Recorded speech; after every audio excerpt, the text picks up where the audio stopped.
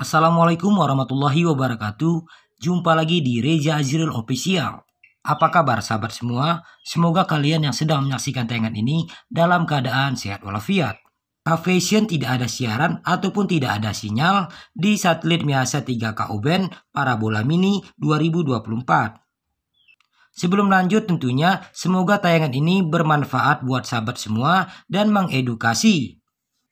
Seperti yang sudah diinformasikan sebelumnya ya, terhitung 1 April 2024, siaran Kafation berpindah satelit ya, dan tentunya dengan frekuensi terbaru. Sebelum kita melakukan scan ulang, sahabat tidak perlu ya untuk mengubah ataupun menggeser posisi parabolanya. Kita akan lakukan scan ulang saja. Ini adalah receiver Optus 66HD ya.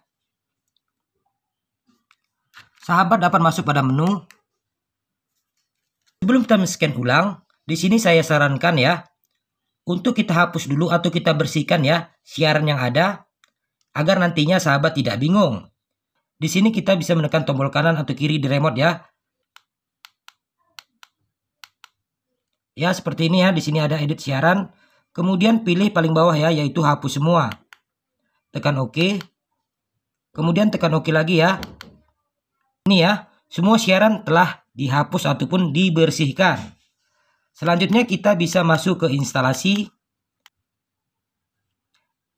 Di sini ada instalasi ya. Kemudian pilih pengaturan antena. Maka akan tampil ya pengaturan antena seperti ini. Di sini ada satelitnya ya. Tekan tombol kanan atau kiri remote seperti ini ya. Untuk memilih satelitnya. Boleh Visionku ya kemudian Miasa 3A.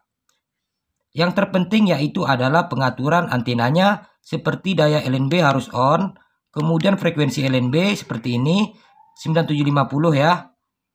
Di sek 10 dan 11 ini boleh off. Jadi pastikan ya untuk pengaturannya sudah benar. Selanjutnya kita akan scan ya untuk frekuensi terbarunya ataupun transpondernya ya. Sahabat dapat menekan tombol hijau di remote maka akan tampil daftar transpondernya ataupun daftar TP seperti ini ya. Selanjutnya kita akan tambahkan ya. Dengan menekan tombol hijau di remote. Seperti ini ya. Kita akan tambahkan untuk transponder terbaru Kavation ya. Untuk frekuensinya 12563 ya. Polarisasinya horizontal ya. Seperti ini. Simbol rate-nya 31.000. Selanjutnya sahabat dapat menyimpan ya. Setelah disimpan seperti ini, lihat kualitas sinyal ada apa tidak ya.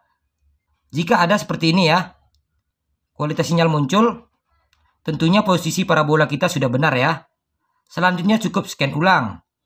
Sebelum scan ulang, sahabat dapat menandai ya atau mencentang dengan menekan tombol OK di remote, maka akan tampil ya lambang centang seperti ini. Setelah dicentang, sahabat dapat menekan tombol biru di remote ya maka akan tampil pencarian TP. Di sini sahabat dapat memilih tidak, kemudian TV dan radio pilih semua. Selanjutnya pilih cari ya, tekan saja OK. Maka akan di-scan ulang untuk frekuensi. Setelah sampai 100%, jangan lupa tekan OK untuk simpan. Selanjutnya kita dapat masuk kembali ke menu. Kembali ke instalasi dan ke pengaturan antena, tekan saja OK. Kembali ke tampilan seperti ini. Tekan tombol hijau ya untuk ke daftar TP. Ya. Tekan tombol hijau. Untuk frekuensi kedua 12643 ya. Polarisasinya horizontal. Simbol rate-nya sama ya. Selanjutnya tekan OK. Setelah ditambahkan, lihat kualitas sinyalnya ya.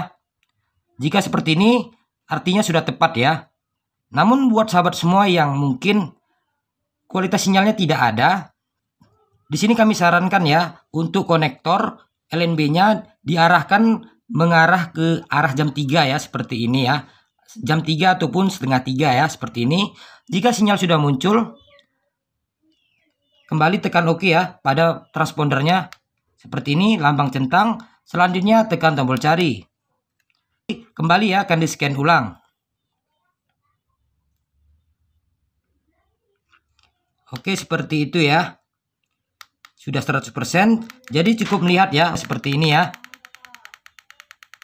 Namun jika kedua frekuensi ataupun transponder ini tidak ada sinyal, pastikan kembali ya kabel dan konektor ya dari receiver ke parabolanya tersambung dengan baik. Jadi diperiksa kemungkinan bisa jadi longgar. Itu tadi sahabat semua ya kita sudah men ulang. Semoga tayangan ini bermanfaat dan mengedukasi buat sahabat semua. Jumpa lagi di tayangan selanjutnya. Assalamualaikum warahmatullahi wabarakatuh.